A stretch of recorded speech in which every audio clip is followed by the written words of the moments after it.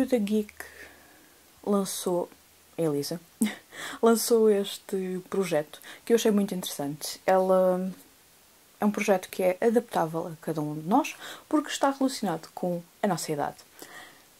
Por isso, o meu projeto, ou a minha hashtag, vai se chamar Livros com 29 anos, porque é a idade que eu vou fazer em 2018. estou quase a fazer 30. Uh, e a ideia é ler quatro livros, uh, pelo menos a ideia inicial é ler quatro livros de quatro prémios importantes literários. Eu vou começar primeiro por falar-vos do quem ganhou o prémio Camões em 1989 foi o Miguel Torga, que para mim é ótimo porque eu tenho ideias de ler um livro dele já há bastante tempo. Ainda não sei o que é que vou ler. Uh, meu pai tem praticamente a obra toda do Miguel Torga. Eu provavelmente irei começar pelos contos, porque eu acho que vai ser aquilo que é mais fácil de, de ler. E por isso mesmo poderá ser interessante para inserir num dos meus projetos de contos. Hum, vamos esperar por eles. Isto é um projeto que é para ser feito ao longo do ano todo, portanto, não há pressa para ler os livros. Mas uh, há que lê-los, obviamente. Depois, quem ganhou o Man Booker Prize de 1989 foi o Kazuo Ishiguro, o Prémio Nobel de 2017, por acaso, coincidência, o, com o livro The Remains of the Day, que é, tem uma adaptação para filme, em que eu deixo o cartaz aqui. E eu fiquei super entusiasmada porque eu quero muito, mas muito, um, ver este filme. É um filme que me chama bastante a atenção e talvez um dos poucos livros do Kazuo Ishiguro que me chamam a atenção. Eu comprei o livro, aliás, mandei ver o livro, ainda não chegou. Uh, e não é que no Natal o meu pai recebeu o livro. Enfim, portanto, agora tenho dois. Tenho uma versão em inglês e uma versão em português. Depois, o Pulitzer Prize de 1989, de ficção, foi a Anne Tyler com o livro Breeding Lessons, que eu também já mandei vir. Em princípio será na edição que vos estou a mostrar.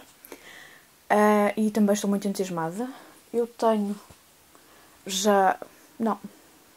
Da Anne Tyler não tenho nenhum livro, mas é uma autora que me tem chamado a atenção. Acho que não tenho nenhum livro dela. Tenho que ir ver, mas pronto. Acho que não tenho nenhum livro dela, mas já tive para comprar dois ou três livros.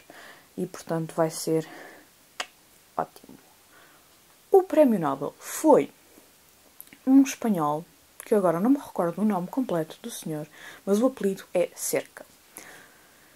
Os livros são difíceis de arranjar em português, hum, em inglês. Felizmente, houve alguém que me relembrou, a Zélia relembrou-me que de ir ver ao LX se havia livros uh, do autor, havia, mas eu vou. Eu não sei se vou querer ler livros deste autor. Não me. Não me chamou muita atenção. Portanto, eu vou reservar uh, esta ideia e, se calhar, em vez de ler, em vez de ler livros do Nobel de 1989, vou pensar em ler ou pegar em outros livros que foram publicados em 1800, 1989 e que me chamam mais a atenção e que alguns deles eu até já tinha aqui nas minhas estantes ou nas estantes dos meus pais e que são livros que eu quero ler e isto era uma ótima desculpa para os ler. Eu vou mostrar-vos alguns desses livros que eu acho que era interessante ler. Se vocês já tiverem lido algum, um, falem-me sobre eles nos comentários. O primeiro é A Casa da Rússia, do John Le Carré, que também tem uma adaptação cinematográfica com o Sean Connery. É um livro de espionagem, quase todos os livros do John Le Carré são, e eu acho que vou gostar. Nunca li nada do autor, já ando alguns anos para ler e era ideal fazê-lo nesta altura. Depois, um outro livro foi um livro que eu queria ler em 2017 e não o fiz. E a culpa é dele ser realmente muito grande. O livro é Os Pilares da Terra, do Ken Follett, que eu não fui buscar para vos mostrar, mas deixa cá para aqui alguns. Um outro livro seria A História do Cerco de Lisboa, do Saramago, que eu não sei se será o próximo Saramago que eu quero ler, mas é uma opção. Um livro que eu provavelmente irei ler, e por isso mesmo também achei interessante poder inserir neste projeto, é mais um livro do Terry Pratchett, neste caso o Pyramids, que é o sétimo livro da série Discworld. Ora, o sétimo livro é um dos próximos livros que eu vou ler. Ou vou ler o quinto, ou vou ler o sétimo, porque o sexto eu já li. Por isso é ideal. Aliás, este é um dos poucos livros que não faz parte de nenhuma subsérie. Acho que era ideal mesmo para ler agora, brevemente. Este próximo que vos vou dizer, eu não vou ler porque eu quero ler estes livros um, seguidos. Uh, é um livro que faz parte do um, History of Middle Earth, do Tolkien, mas é o sétimo.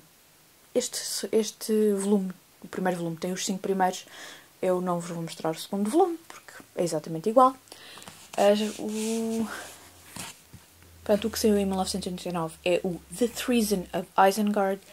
Ainda por cima, é um dos temas que eu acho mais interessantes.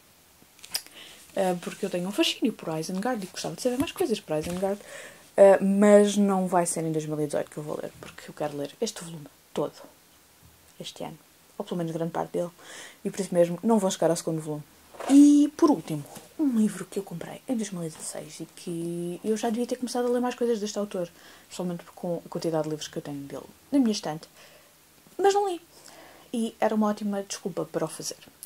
O livro é The Great and Secret Show, que é o primeiro livro de uma duologia que se chama Book of Art, do Clive Barker. Clive Barker escreve livros de horror, fantasia, talvez ficção científica eu adoro esta capa. Vocês vejam esta capa. É simplesmente fantástica. Talvez esteja um bocadinho gasta o tempo, mas parece-me ser uma capa cheia de, de tanta coisa que eu, me deixa curiosa pelo livro. E depois também tenho já o segundo aqui na minha estante, portanto. Eu não sei o que é que estou à espera. Ah, já sei. Estava à espera deste projeto para o ler. Vão também participar neste projeto que a Miúda Geek criou. Acham a ideia interessante ou não? Ler livros que foram importantes no ano em que nasceram. Eu acho que é muito interessante, acho que então é um projeto ideal então para mim para fazer antes dos 30 anos. Aliás, seria igual fazê-lo agora ou quando fizesse 30 anos, porque os livros são exatamente os mesmos. Uh, mas eu acho que vai ser muito interessante, vai ser uma ótima maneira de ler autores que eu nunca li, mas que quero ler, livros que eu nunca li, mas que quero ler e como podem ver, a minha TBR para o ano de 2018 já não são só aqueles 55 livros que eu vos mostrei na minha TBR, são muito mais. Ah, enfim. Até o próximo vídeo.